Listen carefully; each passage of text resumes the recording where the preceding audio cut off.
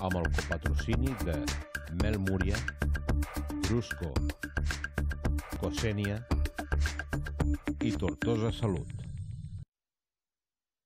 Iberolei és l'oli d'etiqueta negra disponible en setrill. Iberolei mil·lenari és l'oli suau de les nostres oliveres mil·lenàries. Iberolei, el millor oli del món, patrocina l'Ebre Notícies.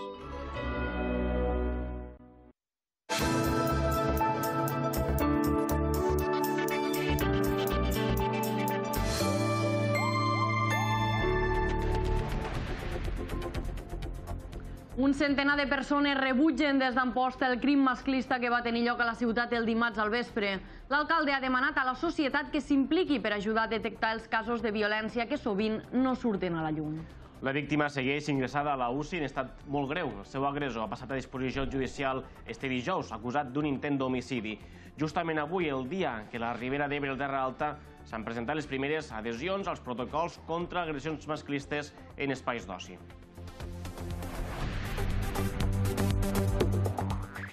Meritxell Roger fa balanç dels dos primers anys de mandat en una conferència pública. L'alcaldessa de Tortosa ha volgut destacar sobretot les dificultats de governar en pandèmia, però també en minoria.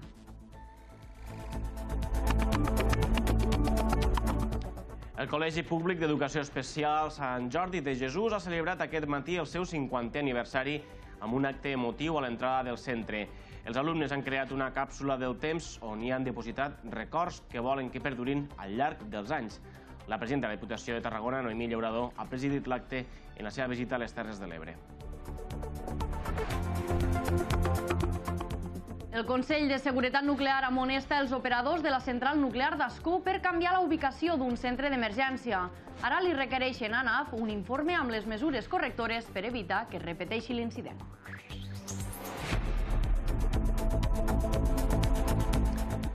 A la cultura coneixerem més detalls de l'acte amb el que es vol donar el tret de sortida a l'estiu tortosí, un concert d'una banda tribut a Coldplay. Als esports avui els explicarem dos reptes solidaris per lluitar contra el càncer que tenen protagonisme ebrenc. D'una banda, el roquetenc Albert Giner, que recorrerà els 1.600 quilòmetres que separen el far de Finisterre a Galícia de Roquetes. De l'altra, Enric Cubells, que farà en bicicleta Carabias Garcia. I a l'espai de l'entrevista, l'alcalde de Gandesa, Carles Luz, farà balanç també de la seva primera meitat de mandat i ens explica per què es presenta a l'executiva del PDeCAT.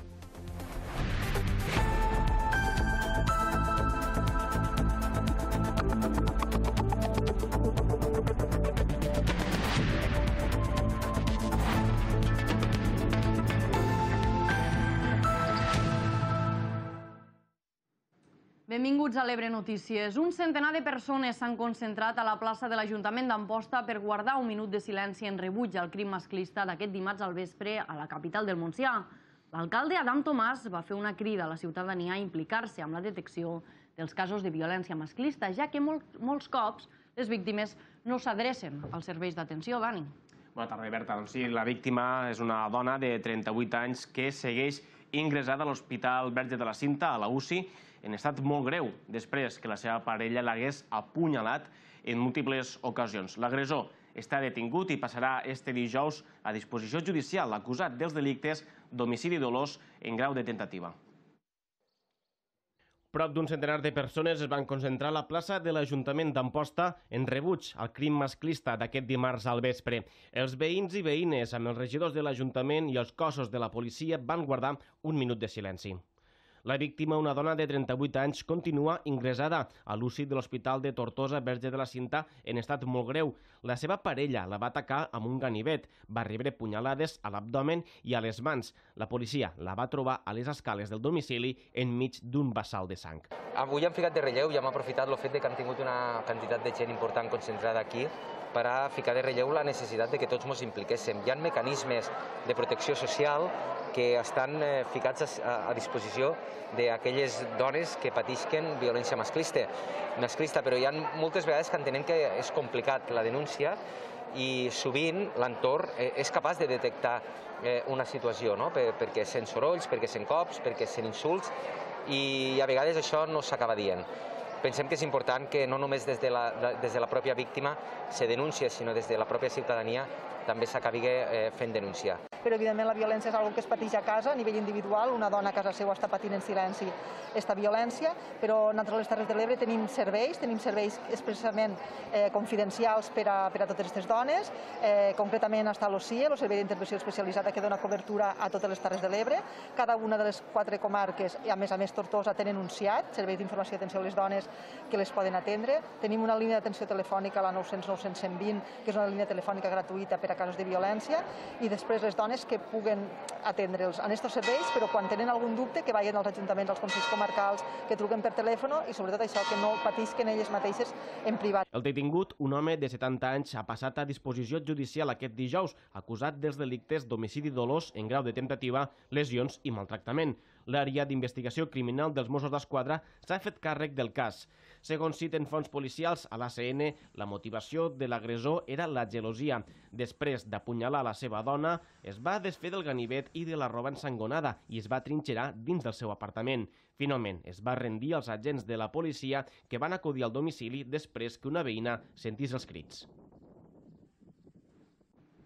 Precisament avui, la Coordinació Territorial de Joventut i els Consells Comarcals de la Ribera d'Ebre i de la Terra Alta han presentat els municipis que s'han adherit al protocol de prevenció de les violències sexuals en espais públics d'oci. L'objectiu és el de prevenir, detectar i atendre la recuperació de dones que han patit agressions masclistes en el context de les festes majors o altres celebracions. Alguns municipis de la Ribera d'Ebre i de la Terra Alta ja s'han adherit als protocols comarcals vers les violències sexuals en espais públics d'oci.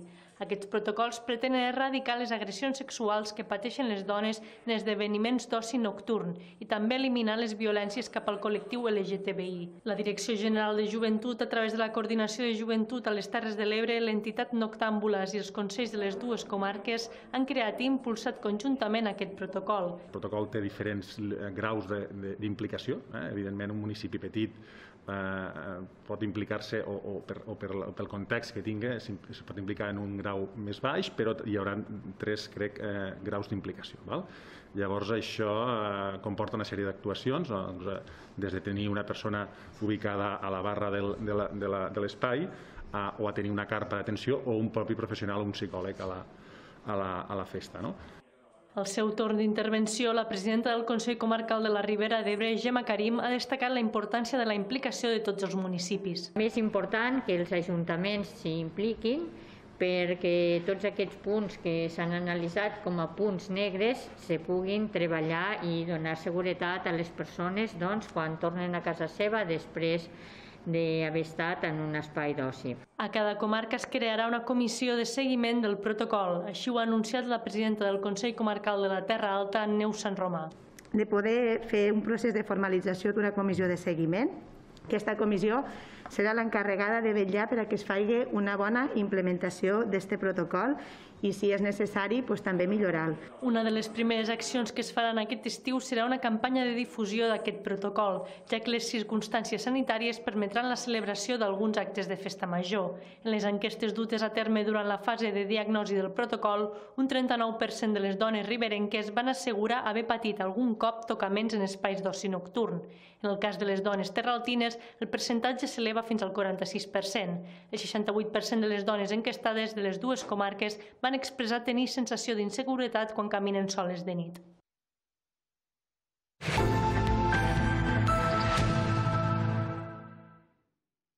L'alcaldessa de Tortosa, Meritxell Roger, va passar comptes ahir dels seus primers dos anys de mandat municipal. Va explicar com s'ha gestionat la pandèmia o quines obres tenen en marxa, però tampoc va estalviar retrets a l'oposició, que li ha fet difícil governar en minoria, malgrat el pacte amb el PSC. Roger es va posicionar a favor del nou cap de Ferreries, però va reclamar el retorn de les especialitats. També va insistir en que la Generalitat faci una passarel·la a la pilastra del monument quan este sigui retirat i va confirmar que es presentarà a les eleccions del 2023.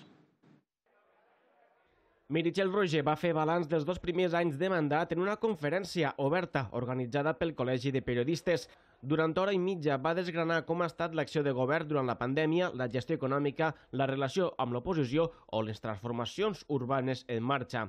Haguéssim pogut fer moltes més coses a la nostra ciutat si s'hagués deixat de banda el partidisme i no s'hagués utilitzat la minoria del govern per tal de paralitzar o bloquejar projectes que estic segura que en un altre moment s'haguessin portat a terme sense cap problema.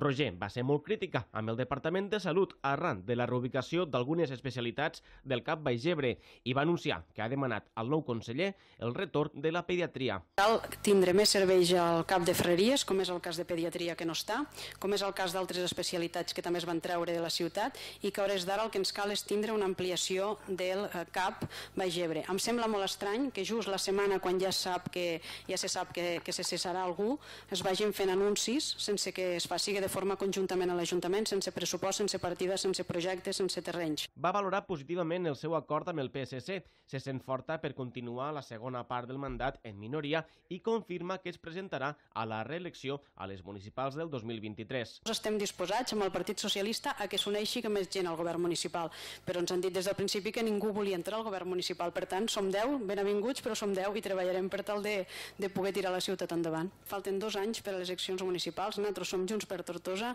seguirem sent Junts per Tortosa i a partir d'aquí eh, caldrà veure què és el que succeeix.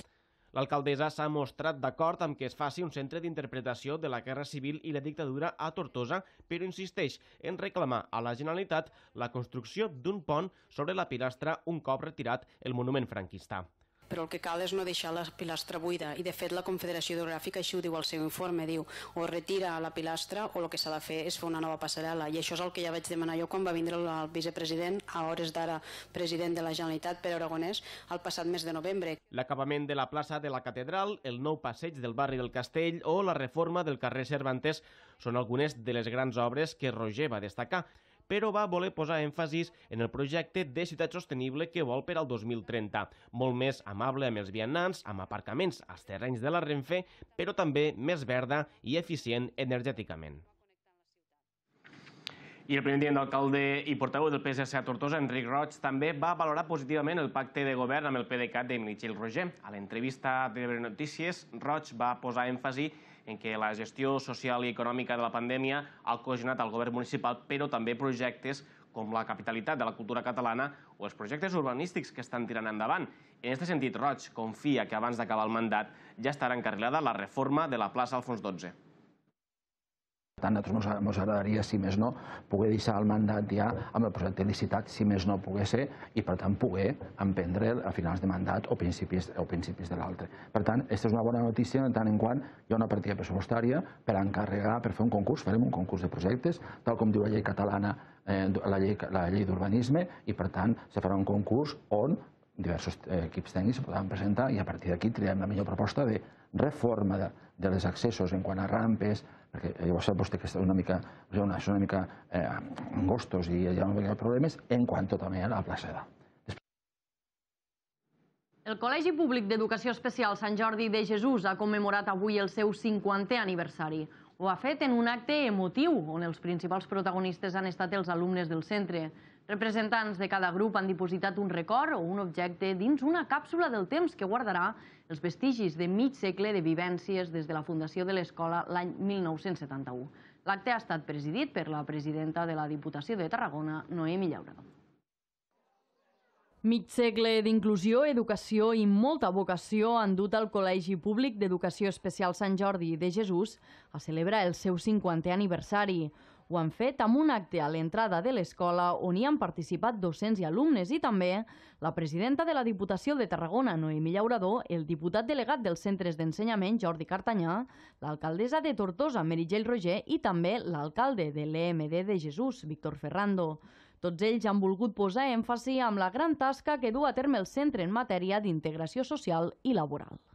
Un col·legi que és referent a totes les Terres de l'Ebre i a tota la demarcació, a l'hora d'oferir oportunitats a les persones, als nens i nenes, als joves amb necessitats educatives especials. Felicitar-los per aquests 50 anys, però especialment per tota la bona feina que fan per tal de poder formar joves, poder formar xiquets i xiquetes i per tots els valors que els estan transmetent i per la tasca que estan fent a, a la societat. Aquesta contribució que es fa des del centre ajuda a a dispersar i a extendre en el territori aquesta idea de que hem de tenir una societat diversa i igual d'oportunitats per tothom. Per tant, agrair la seva tasca i encoratjar-los a seguir-la fent i a seguir canviant aquest model de societat que tenim. L'acte ha tingut el seu punt culminant amb la creació d'una càpsula del temps on una representació d'alumnes hi han dipositat records i objectes i l'han enterrada amb l'objectiu de fer que aquest dia perduri per sempre. Al llarg d'aquest mig segle d'història s'han format a l'escola un total de 500 nens i nenes.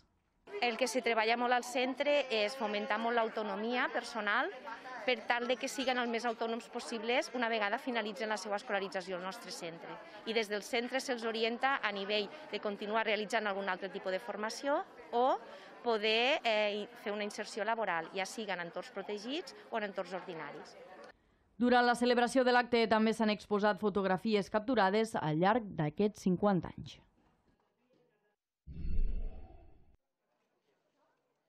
L'orador ha visitat després a Tortosa l'Escola d'Art i la Cultura. Es tracta d'un nou espai de formació amb seu a Tortosa i Valls que pretén intensificar l'activitat i la producció cultural i artística de les Terres de l'Ebre. Una iniciativa de la Diputació de Tarragona que augmentarà l'oferta formativa cultural en diferents seus de la demarcació, com són del Tebre, la Ràpita, Miravet o Horta de Sant Joan. En una primera fase, que començarà a partir del pròxim mes de setembre, l'escola ja oferirà formació artística i cultural en els municipis esmentats. En una segona fase, el centre prestarà també altres serveis per als artistes, com són l'acompanyament acompanyament dels creadors i agents en creació de nous projectes. Llaurador ha volgut remarcar que el projecte revertirà indirectament en el conjunt de la ciutadania.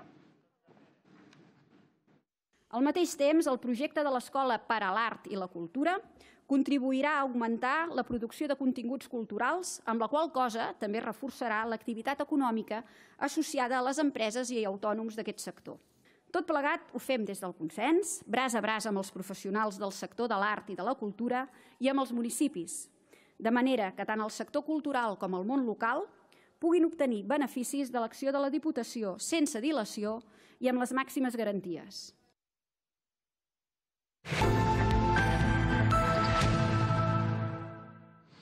El Consell de Seguretat Nuclear ha amonestat els operadors de la central nuclear d'Ascó per canviar sense autorització la ubicació d'un centre d'emergència. Concretament, es tracta d'un punt de reunió del Parc de Bombers. El Consell de Seguretat Nuclear adverteix que s'ha incomplert una de les condicions de les autoritzacions de l'explotació i encara a la central nuclear d'Ascó avui han informat que ha tingut, han hagut d'aturar el reactor d'Escó 2 per un mal funcionament de l'alternador. La planta s'ha desconnectat de la xarxa elèctrica. La central assegura que la incidència no ha tingut cap impacte en la seguretat de les persones ni del medi ambient. I Aqua Roquetes no tancarà finalment. Després de setmanes de negociacions amb IGE, l'empresa concessionària del servei, i també amb l'Ajuntament de Roquetes, han decidit que es mantindrà oberta tota l'activitat d'estiu i la programació de setembre. La decisió s'ha pres després de la reunió d'aquest matí, on havien de decidir si tancar o continuar oberts. Roquetes es va veure obligada a plantejar un tancament i un ERO als treballadors per la situació econòmica el dia 15 de juny. Finalment han arribat a un acord, totes dues parts i la piscina coberta i el gimnàs continuaran a disposició dels socis. Movem Terres de l'Ebre demanarà al Parlament de Catalunya la construcció d'una nova escola al barri de Remolins, a Tortosa. Denuncien que l'actual s'està quedant petita i que es troba en molt mal estat. Aquesta mateixa proposta ja s'havia aprovat al ple municipal de l'octubre passat. Movem Terres de l'Ebre portarà al Parlament de Catalunya una proposta de resolució per a la construcció d'una nova escola al barri de Remolins. Creuen que l'edifici actual està quedant obsolet pel que fa a les seves instal·lacions, grandària i superfície, ja que està encaixonada al barri de Sant Jaume i això fa que no pugui créixer. Una reivindicació històrica no, d'este barri que Movem Tortosa van portar al ple, que es va aprovar la moció, però com tothom sap, la construcció d'esta nova escola ha de ser fruit de la col·laboració entre l'Ajuntament i la Generalitat de Catalunya perquè és la l'Ajuntament qui ha de cedir els terrenys i és la Generalitat de Catalunya qui ha de tindre la voluntat eh, realment no, de construir un nou equipament escolar a la nostra ciutat. Des de Movem també proposen que la nova escola tinga una col·laboració amb el campus Terres de l'Ebre de la URB en els graus d'educació infantil i educació primària. Com que creuen que la construcció de la nova escola no serà imminent, reclamen unes obres de manteniment a l'actual escola que a l'actual escola, a la que tenim aquí al, nostre darrere, eh, hi hagué també unes obres de manteniment que depenen del govern de la Generalitat i que a hores d'ara no s'han fet. I encara hi han moltes mancances, com per exemple no, el tema de pintar la façana de l'exterior, arranjar el paviment del pati que està a l'interior als peus del castell de, de la Suda. D'altra banda, com a diputat, Jordi Jordan s'ha sumat a la proposta de resolució presentada pel PSC per a la construcció construcció d'un nou hospital a les Terres de l'Ebre.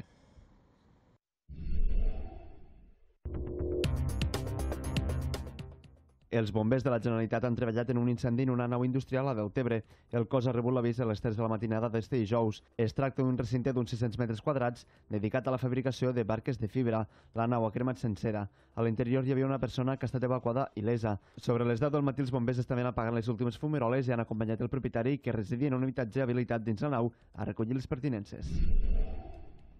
El Departament de Salut posa en marxa esta setmana sis nous mòduls de suport per a l'activitat Covid a centres d'atenció primària de les Terres de l'Ebre. La voluntat és traslladar a estos espais annexos l'activitat relacionada amb la Covid-19 per garantir els dobles circuits en els centres. Salut ha apuntat que aviat se n'activiran tres més a Deltebre, la Senya, Llull de Cona.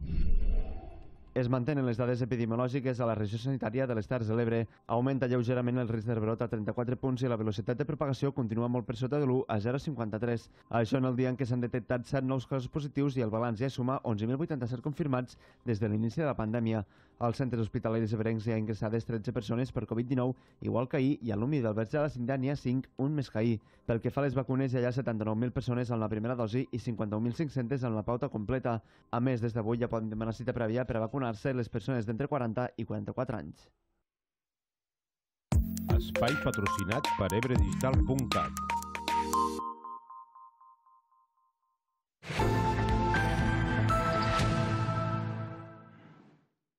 Tortosa donarà el dret de sortida a l'estiu amb un tribut a Coldplay. Serà el dia 26 de juny al Parc Teodor González i amb una capacitat per a 1.000 persones. D'aquesta manera serà l'acte inicial del cicle Tortosa Viu l'estiu, que durant els propers mesos programarà un seguit d'activitats. Un dels objectius del concert serà dinamitzar l'activitat econòmica de la ciutat. Les entrades seran gratuïtes, però cal reservar-les prèviament a través de la plataforma ebreticket.cat. L'activitat es realitzarà amb el públic assegut per poder mantindre la distància de seguretat.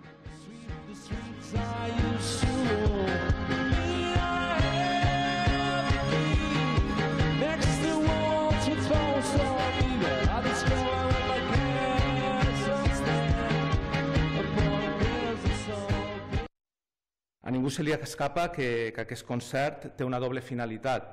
Una finalitat d'entreteniment, però també una finalitat de dinamitzar l'economia de la ciutat.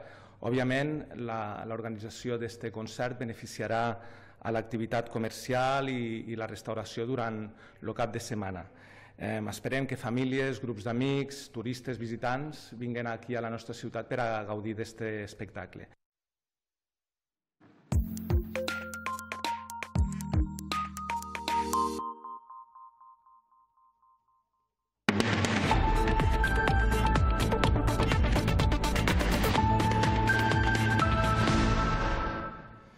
I avui als esports parlem de Marc Alcova, que ja està a Itàlia. Andreu? Hola, bona tarda.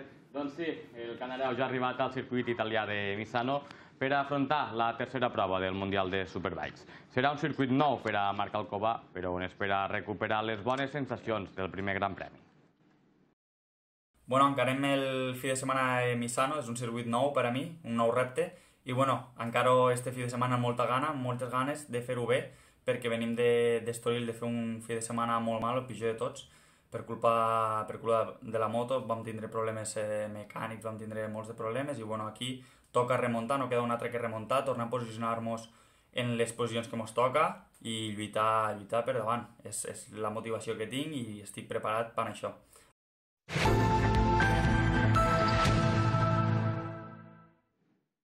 L'estrongman de Deltebre, Joan Ferrer, es va convertir el dissabte passat en l'home més fort d'Espanya al guanyar la Lliga Nacional de Força. Fins ara, Ferrer havia aconseguit dos subcampionats i una tercera posició. A la quarta, per fi, ja pot dir que és l'home més fort d'Espanya. Esta tarda, des de les 7 menys quart, al Connecta 10 Comarques, primer, i una hora més tard al Connecticut, estarem en directe des de Deltebre perquè ell mateix ens expliqui les seves sensacions i com ho va viure.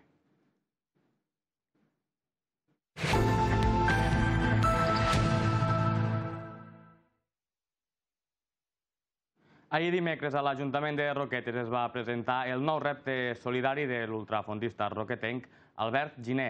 Giné farà un recorregut total de 1.650 quilòmetres del 14 al 26 de juny, 12 nits i 13 dies recorrent més de 130 quilòmetres diaris en BTT i corrent, des del far de Finester a Galícia fins a Roquetes. L'ultrafondista roquetenc Albert Giner recorrerà els 1.650 quilòmetres que separen el far de Finestier de Roquetes del 14 al 26 de juny. 12 nits i 13 dies fent més de 130 quilòmetres diaris en BTT i corrent per recaptar fons a benefici del projecte EMA i la lluita contra el càncer de mama també del banc d'aliments per al qual es recollirà menjar. Sabíem que havia de ser algo potent perquè Claro, exposar-te a fer 1.650 quilòmetres, tant a peu com en bicicleta, en 13 dies és, és una cosa que tan dita com feta, abans dies dita, dita, dita i feta, costa molt. Eh, són 30, 130 quilòmetres diaris de mitja i serà un esforç i, claro, per a compensar això havia d'haver detrás, sempre, sempre ho hem dit, que detrás ha d'haver una força molt potent. Creiem que el projecte EMA era la, la força potent, Gine farà el repte acompanyat de José Escribano, Antonio Esquinas, Isabel Pellegrina i Marc Fernández. L'any passat, el mateix ultrafondista de Roquetes ja va participar al repte Non-Stop Aliments, on 17 esportistes catalans i bascs van fer 600 quilòmetres a peu i sense pausa per recollir aliments. Descobrim ara un altre repte per recaptar fons per la lluita contra el càncer. El protagonista és ara Enric Cubells, un veí del Molà, al Priorat, de 45 anys, i que treballa d'auxiliar de geriatria en una residència de gent gran. Amant del ciclisme de muntanya, des del 2013, Cubells recorrerà els 500 quilòmetres que separen la població de Cadavías, a Dagualajara i Garcia, a la Ribera d'Ebre. Ho farà en cinc etapes en solitari. Cubells començarà el repte este diumenge i este és el motiu pel que el fa. L'any 1987 el càncer es va emportar a la meva mare. I llavors em vaig omplir d'incògnites i preguntes sense resposta de les quals no n'he obtingut mai. Fins que va arribar un bon dia que em vaig fer una pregunta. Llavors vaig obtenir resposta. Què és el que jo podia fer per tornar el cop amb aquesta malaltia? Doncs bé, a través de l'entitat Right for Her, que és una associació sense ànim de lucre, vam crear un repte solidari per recaptar diners per la lluita contra aquesta malaltia. I vaig trobar eh, una ruta que faré amb bicicleta de muntanya unint els dos cognoms de la meva mare amb dues poblacions de la península ibèrica que porten el mateix nom. L'inici de la ruta és a la població de Caràbies, a la província de Guadalajara, i el final de la ruta és a Garcia, a la Ribera d'Ebre.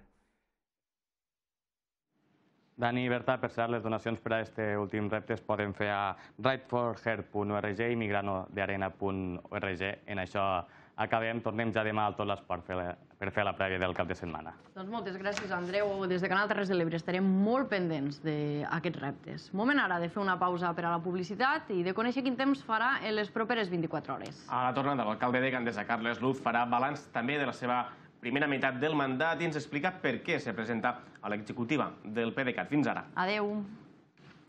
Espai patrocinat per Arròs Montsià.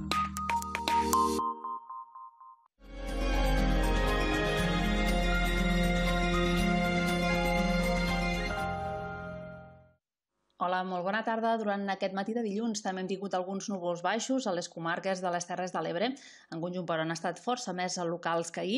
Els observem en aquest cas des del Baix Ebre, fotografia que ens feia arribar la Pili Rius. Els veiem en el peu de la imatge. I també observem alguns núvols alts i mitjans que han afectat altres indrets també del territori, però que en general s'han mantingut poc abundants, tal com observem doncs, en aquesta seqüència d'imatges del satèl·lit Meteosat. De cara a aquestes properes hores creixeran algunes nuvolades i a punts de l'interior de les Terres de l'Ebre. A la comarca del Matarranya, també la dels Ports i de l'Alt Maestrat, podria descarregar algun ruixat mm, de caràcter local. Demà esperem pocs canvis en la situació meteorològica, un matí dominat pel sol, també amb algun núvol baix a la zona del litoral d'aquí de les Terres de l'Ebre, núvols baixos fins i tot força més locals que avui i amb temperatures matinals bastant semblants també en bona mar en aquest sector del territori, fins i tot en mar plana durant el matí i amb aquest vent de component sud que s'anirà imposant amb el pas de les hores. A la tarda mantindrem el sol, tot i l'arribada d'algunes nuvolades, d'alguns intervals de núvols, nuvolades que també novament a l'interior, a les comarques dels ports, de l'Alt Maestrat i del Matarranya, podrien deixar algun ruixat de caràcter molt local. També al centre del dia les temperatures mantindrien bastant semblants, una tarda també en bona mar en aquest sector del país, amb marejol i amb vent de component sud que es mantindrà entre fluix i moderat. De cara als propers dies continuarem parlant d'aquestes temperatures altes en aquest sector del territori, sobretot a l'interior de la Vall de l'Ebre, i amb domini del sol, tot i que divendres també encara tindríem algun ruixat durant la tarda a punts de l'interior. Això és tot de moment des del Servei Meteorològic de Catalunya.